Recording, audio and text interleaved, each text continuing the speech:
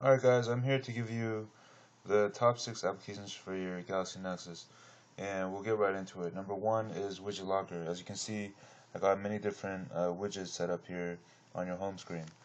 Number two, it's going to be Fancy Widget. And as you can see, it gives you a nice um, animated weather and uh, clock.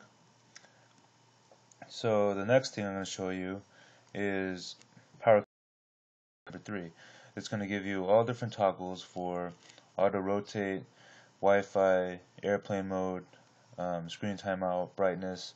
So th that's why I chose this one. And number four is going to be Circle Launcher. As you can see, we have a little icon here. You're going to tap it and you're going to set up as many applications as you want to pop up.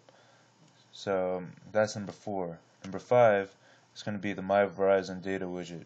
It's going to show you how much data you're using um, if you're on a limited data plan. But of course, if you're if you're unlimited, then it really doesn't matter. All right, number five I'm going to show you here is is AppBrain. Now, AppBrain it syncs all your applications.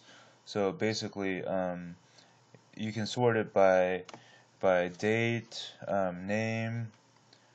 Uh, let's see, date, name, and size.